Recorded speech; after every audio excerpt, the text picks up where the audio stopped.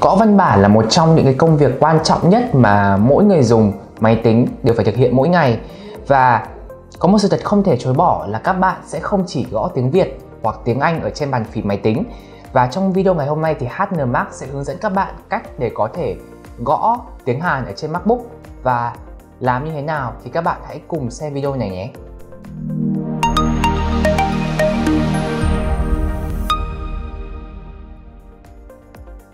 Và nếu mà các bạn muốn thêm cái ngôn ngữ mới vào bàn phím của MacBook, cụ thể ở đây là tiếng Hàn đi, thì các bạn có thể làm những bước như sau. Đầu tiên các bạn click vào cái logo quả táo ở đây cho mình. Các bạn chọn System Preferences. Sau đấy các bạn bấm vào phần keyboard cho mình. Và các bạn chọn cái tab thứ tư cho mình. Như ở đây các bạn thể thấy là mình đã thêm bàn phím tiếng Việt, bàn phím Telex và bàn phím ở tiếng Anh ở đây và bây giờ mình sẽ thêm bàn phím tiếng Hàn. Mình bấm dấu cộng ở đây nhé. Và sau đấy thì mình search ở đây là Korean nghĩa là tiếng Hàn thì ở đây các bạn có thể thấy có rất nhiều cái tùy chọn ở đây.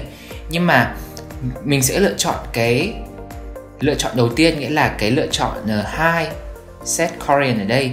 Lý do là bởi cái bàn phím này nó sẽ trùng với cái bàn phím tiếng Hàn ở trên uh, điện thoại iPhone.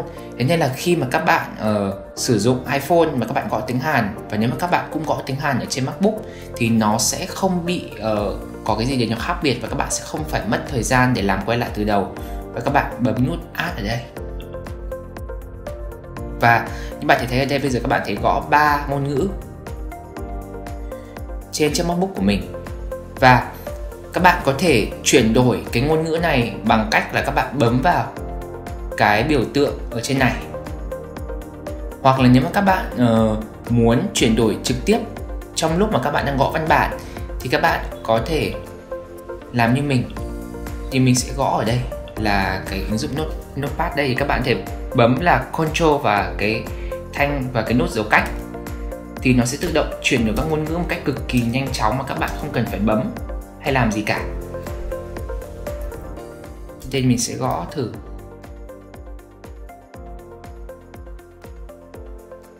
Và mình đã gõ xong tiếng Hàn ở trên MacBook. Hy vọng video này đã giúp các bạn có thể gõ được tiếng Hàn ở trên MacBook và nếu các bạn có bất kỳ câu hỏi gì thì các bạn hãy comment ở ngay phía bên dưới cho bọn mình nhé. Bọn mình sẽ cố gắng trả lời nhanh nhất có thể. Và hẹn gặp lại các bạn ở những video tiếp theo của HNMark.